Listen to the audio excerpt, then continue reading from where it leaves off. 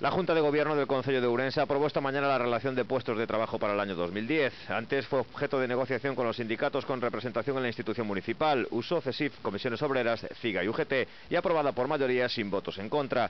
Esta medida servirá para organizar la estructura interna del Consejo y sus diferentes áreas con la finalidad de mejorar el funcionamiento de la institución. Serán reforzadas áreas como las de termalismo, urbanismo o limpieza.